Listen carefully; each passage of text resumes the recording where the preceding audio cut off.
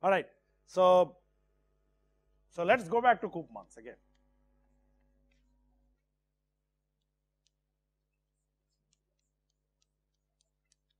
I hope you remember now Koopmans' approximation that if you take out an ionization from one molecular orbital, now I am talking about molecular orbital, do not talk about atomic orbitals now.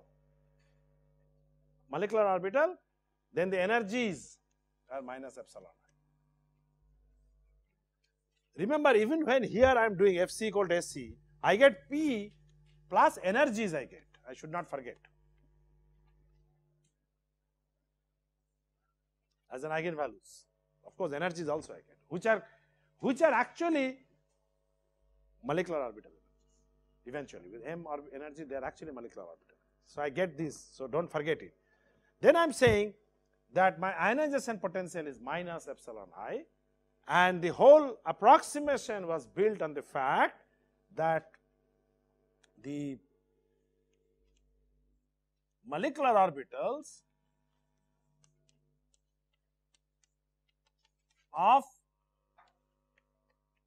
now in term I can generally write molecular spin orbitals of n minus 1 electron wave function is built out of the n electron of n spin orbitals right of the original problem which is n electron wave function minus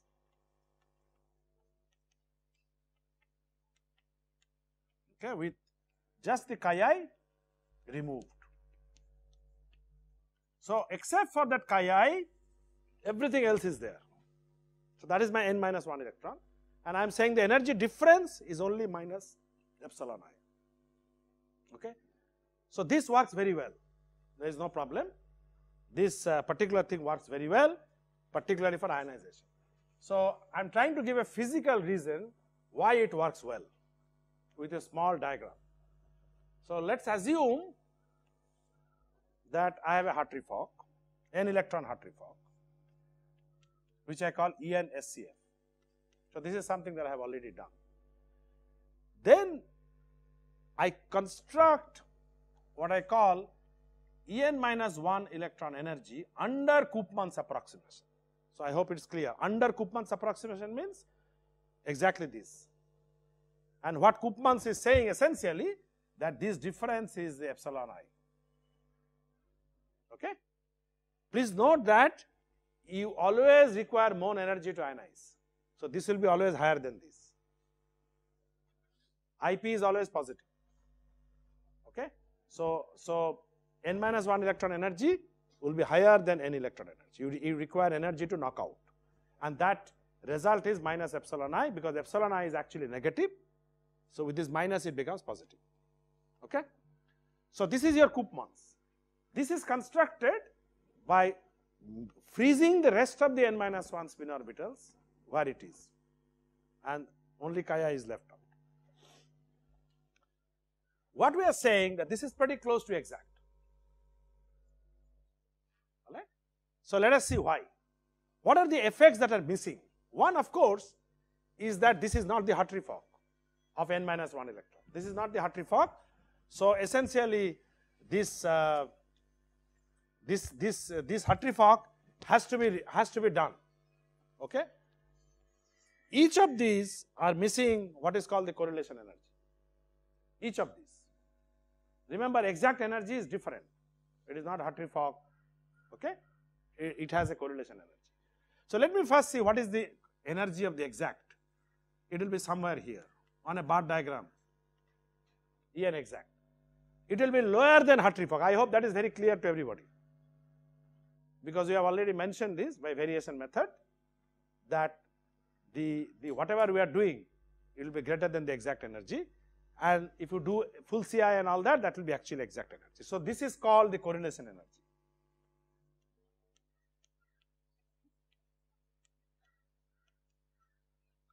Of the n electron problem. I can call it E correlation n. So, you can say that En SCF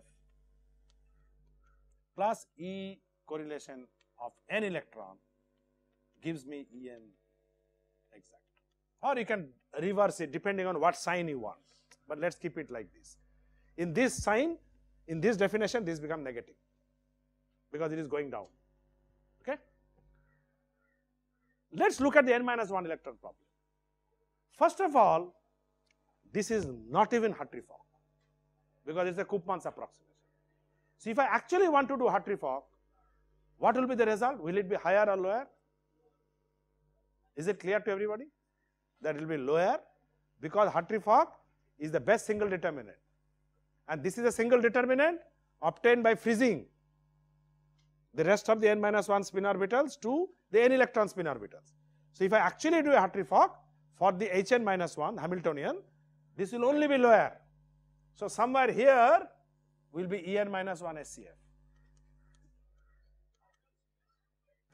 This, this energy is called the relaxation energy. This is just a name.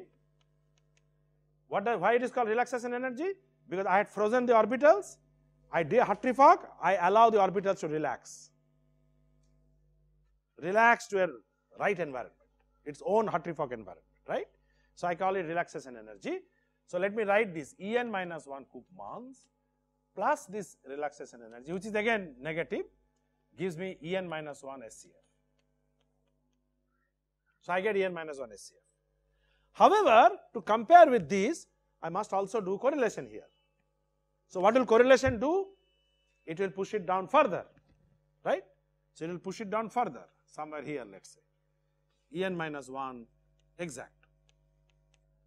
So, I can write now En minus 1 SCF plus E correlation of n minus 1 gives me En minus 1 exact, correct? So, I am using a sign that each of them is negative. So, everything is negative, so I am just pushing it down. Is it clear? Now, what turns out is a very interesting effect. This is well known and this is something that I this time not trying to prove that the E correlation n is less than because this is actually negative. So, it is less than E correlation n minus 1. If you define this as a positive, it means the correlation energy is greater. That means there is a greater lowering of n electron compared to n minus 1 electron. Now, this is very simple to understand because as n increases, overall energy increases. Correlation energy, the lowering also increases. So, everything, so this gap, this gap is much higher than this gap. So, if I say this is delta 1, this is delta 2, delta 1 is larger than delta 2 graphically you can see. So, that means delta 1 is larger than delta 2 just gap I am not looking at sign now. However, there is a delta 3 here which is relaxation. This is greater than this to the extent that delta 1 can come pretty close to delta 2 plus delta 3. Now, of course, this can be much higher, it, it can offset little bit, but since this is already greater than this, it is quite likely that these two together would be somewhat close to delta 1 or maybe little more than delta 1. Then what am I comparing? I am comparing this with this. This is n minus 1 exact with this. If you look at between these two graphs, this is suppressed, this is depressed by delta 1 this is depressed by delta 2 plus delta 3 and they almost would match.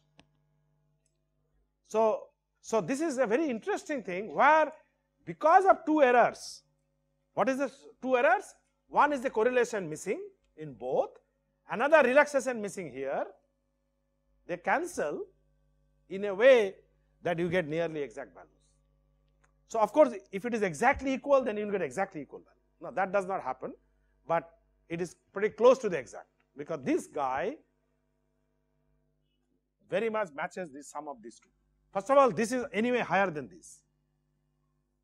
Okay. So, this guy can be little lower, little bit higher, but it is pretty close and delta 3 ensures that this, this gap is similar to this gap, which means this is equal to this. I think graphically you can see that this top has been replaced here, here the, the, uh, the top has gone here. So, you can very easily see that the bottom has gone here. So, this has gone here, this has gone here. So, as long as this is equal to this, this is will be equal to this, right. So, this is IP Koopmans, this is IP exact because this is exact minus exact. I am only saying that delta 1 is greater than delta 2 that you agree. Here there is an additional delta 3. So, hopefully these two together would match this. Then it is exact, but it is not exact. It is pretty. What I said that the Koopmans' IP works better. It will never be exact because already I see that delta 1 is greater than delta 2. So, all I need is a top off here which is coming in the form of relaxation. The top up may be much more than I would require, less than I require. So, to that extent there will be difference from the exact. I am not saying that it is exact. So, what I am just saying that the Koopmans' IP is a good approximation to the exact IP. Since I have a delta 2 plus delta 3 which may come close to delta 1, I am saying that the Koopmans' approximation is greater. It is other way around. I, I am now arguing why Koopmans' approximation is a good approximation. Okay, so that's not the right. Uh, huh? Yeah, see, there is a there is a theorem which says that the E dominant part of E is proportional to N. It's as simple as that. Yeah, proportional. It is as simple as that. If it is size extensive, I don't want to bring in all those terms now, and that is the exact theories are size extensive. So, correlation energy. So, basically E correlation also becomes proportional to N. E correlation means minus E correlation or whatever, the change. I can say modulus of E correlation, that might be easier, is always proportional to N. Value, okay. So, that is the reason, it is very simple, okay. But how much difference, how much is the relaxation, that is where the approximation will not be exact, but it will be pretty close. So, in fact, this argument I am showing to tell that the IP Koopmans is a good approximation to IP exact, but it is not exact. It cannot be exactly equal. It's a good approximation to exact IP. Huh. Ah.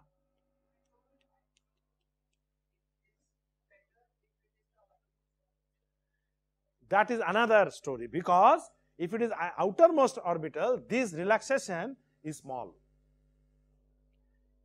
What will happen if it is a core orbital? You know this guy will become very, very large. Then this delta 1 minus delta 2 will not have. This is the most important thing. Then again it will become bad. So it works even better for, see the whole issue is that if you look at this, what is the value of delta 3 compared to delta 1 minus delta 2, right? That is what it comes down to. That is what it comes down to. If this is exactly equal to this, then it is exact. If it is much higher, then again it goes on the other side. So, if you take out an electron from the core, what are you doing?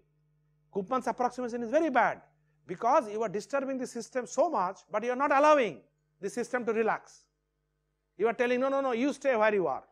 So, if you, if you have a crowd and you want to pull out somebody from the inside, everybody is naturally should be disturbed. But you don't want them to be disturbed, so they will all go into high energy state. Yeah, naturally, because once I am taking out, normally what do you expect? Everybody will resettle. But if I take out from a crowd outside, nothing will happen to the others. So it's a very simple thing. So because you are, you are, you are disturbing the system too much, so this delta 3 will become very large. And if delta 3 becomes very large, then somewhere here will be an En minus 1 Koopman compared to this. Then again this gap will become too large. Okay, so it's a it's a delicate balance. This balance is achieved very well for outer valence IP. So this balance that it's a very good approximation is more true for outer valence IP. So, you have to understand the, uh, the spirit of it. If you take out inner valence, already balance is destroyed. If you take out core, yeah, then there is no point because relaxation is much more, much larger than the correlation. The correlation is unimportant. Then you better do what is called delta SCF. Just take SCF difference, you will get pretty good result because the whole effect is coming because of delta relaxation. Okay. So, I you have to understand the physics and, and accordingly have to respond. Okay. So, this is something that I just wanted to tell. I do not know if I had derived the En minus 1 minus En as epsilon i. Have I derived it? Uh, I will close it here.